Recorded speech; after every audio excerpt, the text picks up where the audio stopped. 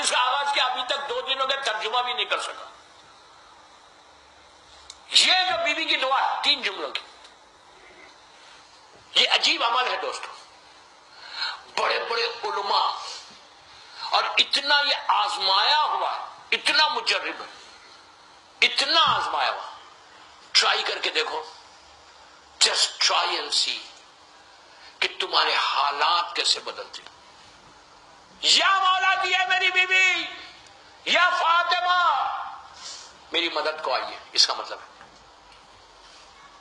ہر مغرب کی نماز کے بعد آفٹر مغرب پریئر ٹوینٹی ون ٹائمس یہ پڑھو۔ تسبیح بی بی کی تسبیح پڑھ کے۔ تسبیح زہرا کے بعد ٹوینٹی ون ٹائمس اکیس مرتبہ بولو۔ اس کے بعد ہاتھوں کو اٹھاؤ۔ اور اٹھا کے بولو، پروردگار۔ تجھے بی بی زہرا کا واسطہ بی بی فاطمہ کا واسطہ یا مولا تیا فاطمہ گرسنی، یا مولا تیا فاطمہ گرسنی۔ کہ میری بی بی فاطمہ، میری مدد کو میری۔ تم یقین کرو، دن بھر کے تمہارے ساری دعائیں۔ یو ٹرائی ناؤ گھر جا کے مغرب پڑھ لینا کوئی بات نہیں۔ اب یہ عمل کرو۔ سروات پڑھ کے یہ عمل کرو۔ اس کے بعد ہاتھوں کو اٹھا کے یہ مت بولو کہ پوری ساری دعائیں بامبے میں میری پہلے قبول ہو جائیں۔ ساروں کے لیے دعا کرو، اس کے بعد اپنے لیے دعا کرو۔ دیکھو تم تمہاری رات کیسے گزرتی۔ تم یہ دیکھو کل دن کیسے گزرتا۔ ہر نماز کے بعد اگر کوئی پڑھے تو احسن۔ ہر نماز کے بعد کوئی پڑھے تو احسن۔ فجر کے بعد پڑھو۔ تمہارا کوئی کام آ رہا کوئی ایشوز ہے رک رہے آبسٹیکلس ہیں، رکاوٹیں ہیں۔ لوگ آفس جا رہے آفس میں تم چاہتے کہ تمہارا باس تمہارے کنٹرول میں رہے، لیکن تم حق پہ رہنا چاہیے۔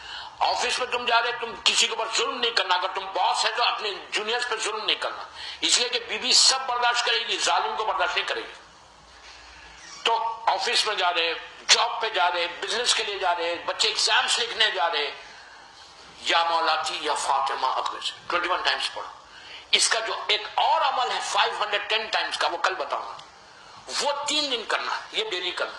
کتنی دیر ہوتی دو منٹ، تین منٹ، چار منٹ، پانچ minute. Five minutes if you spare for Bibi Zahra just five minutes آپ دیکھو کہ رحمت، تسبیح کے بعد پڑھنا بی بی زہرا کی تسبیح، اس کے بعد یہ پڑھنا، واسطہ اللہ کو تسبیح کا بھی دینا، اللہ کو بی بی فاطمہ کا بھی واسطہ دینا۔ دعا کرنا کہ تجھے تسبیح زہرا کا واسطہ، تسبیح فاطمہ کا واسطہ۔ اور یہ بولا کہ پروردگار تجھے اس نام کا واسطہ۔